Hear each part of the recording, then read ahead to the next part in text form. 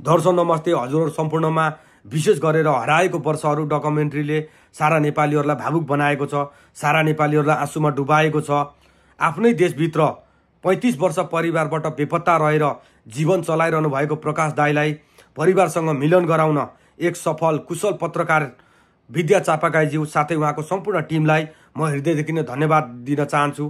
हुनु त राज्यले चाहिँ उहाँहरूलाई चाहिँ एकदम सम्मान गर्नुपर्ने हो।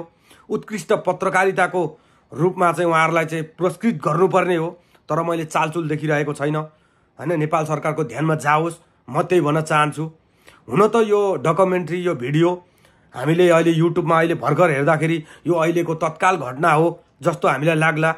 तर वास्तविक रूपमा भन्नुपर्दाखेरि चाहिँ यो भिडियो एक वर्ष अगाडिकै रहेछ। होइन एक वर्ष अगाडि नै प्रकाश दाईले आफ्नो परिवारलाई भेटेर फेरि साउकोमा गएर साउकोबाट फेरि फर्केर आएर दसैँ तिहार मनाएर पनि फेरि साउकोमै गइसक्नु भएको रहेछ।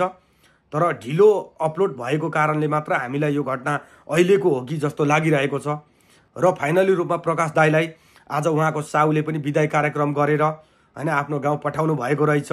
एकदम खुसीको कुरा हो। उहाँलाई चारैतिरबाट अहिले सहयोगको कुराहरू पनि आइरहेको छ। हामी सबै मिलेर चाहिँ उहाँलाई सपोर्ट गर्नुपर्छ।